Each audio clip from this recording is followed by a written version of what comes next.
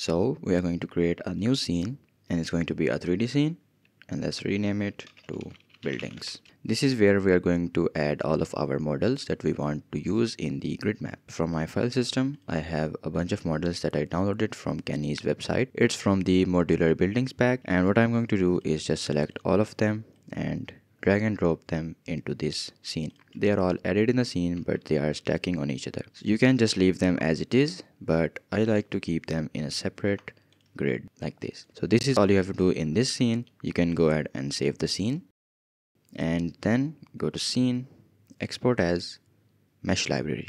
And now you have to save this resource file in your project. So let's do that and you are basically done. The mesh library is completed and now let's go to main and let's add the grid map node.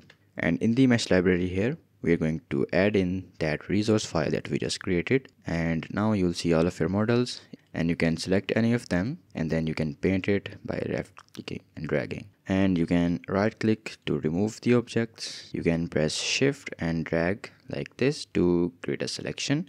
And then you can use control F to fill in the selection with your currently selected mesh. There are other options available in this grid map menu you can create floors and you can change your axis of editing. So for example if I want to edit the z-axis I can enable that and now I can paint like a wall or something like that let's switch it back to the y-axis. And then there are other options. You can rotate your cursor in x y and z axis. And then you can uh, rotate them back in x y z. And you can also clear the current rotation. You can copy and paste stuff right here. And there is other settings like the pick distance which i don't know about. If i paint my meshes like this you can see there's a huge gap between each of them.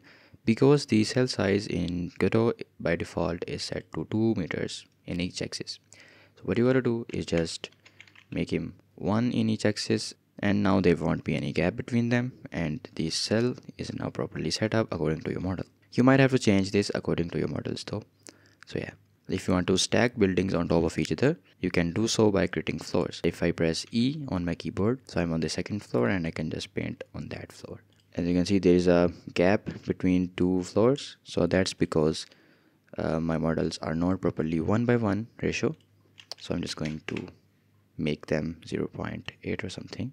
That works like this. So now they are properly arranged in a grid. So that's basically how you use grid maps. It's a very handy tool to make levels very quickly. So leave a like if you found this video helpful and i'll see you in the next video. Bye bye